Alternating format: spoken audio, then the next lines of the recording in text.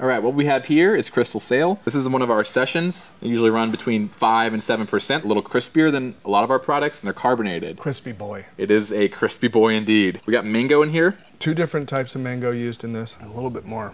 Yeah. Can It's you uh, give me a little re-up? Yeah. Refreshing, wonderful, beautiful bubbles.